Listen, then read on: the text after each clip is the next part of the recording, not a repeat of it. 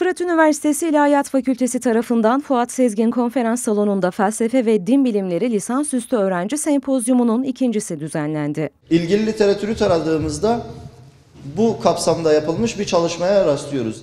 Düzenlenen sempozyumda din eğitimi, din felsefesi, din psikolojisi, dinler tarihi, felsefe tarihi ve İslam felsefesi üzerine felsefe ve din bilimleri bölümü alanında eğitim öğrenim gören lisansüstü öğrencilerinin hazırladığı bilimsel çalışmalar ele alındı. Ee, Biz bu çalışmada, bu bildiride yüksek din öğretimi faaliyeti sürdüren ilahiyat fakülteleri ve İslami ilimler fakültelerinin sosyal medya kullanım durumlarını ortaya koymayı amaçladık.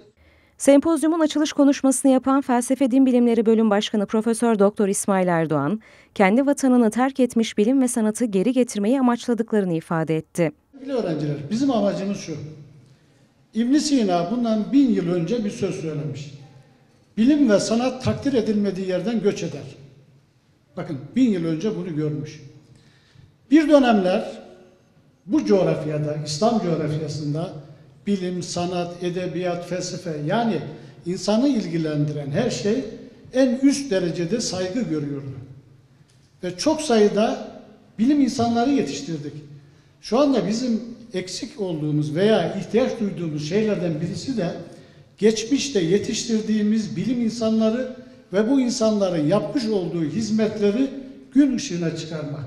Maalesef bu konuda yeterli çalışmalarımız yok. Bundan dolayı e, biz kendi vatanını terk eden bilim ve sanatı, edebiyatı, felsefeyi tekrar kendi vatanına döndürmeye çalışıyoruz.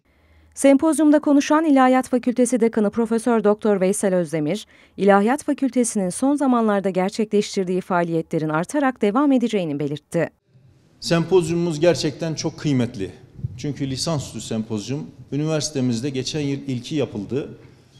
Ee, akabinde e, temel İslam bilimlerimiz e, bilimleri bölümümüz de yapmıştı yaz aylarında daha doğrusu e, bahar aylarının sonlarında. Bu sene felsefe din bilimleri bölümümüz tekrar ikincisini yapıyor. Fakültemizde hamdolsun güzel ilmi çalışmalar e, son zamanlarda yapılmakta. Bundan sonra da inşallah yapılacak. Güzel bir gelenek oluşmaya başladı. Rektör yardımcısı Profesör Doktor Bilal Üstündağ, İlahiyat Fakültesinin kendileri için oldukça önemli olduğunu belirterek fakültenin çalışmalarını desteklemeye devam edeceklerini söyledi. Ben ülkemizde ilmin belirli bir alanda hapsedilerek sadece bir noktaya ya- e, has edilmesi, o konuda çalışmalar yapılmasının eksik olacağını düşünüyorum. Biz yönetime geldiğimizde gerçekten çok köklü bir fakültemiz var. İlahiyat fakültemiz kıymeti çok fazla bilinmiyordu bana göre.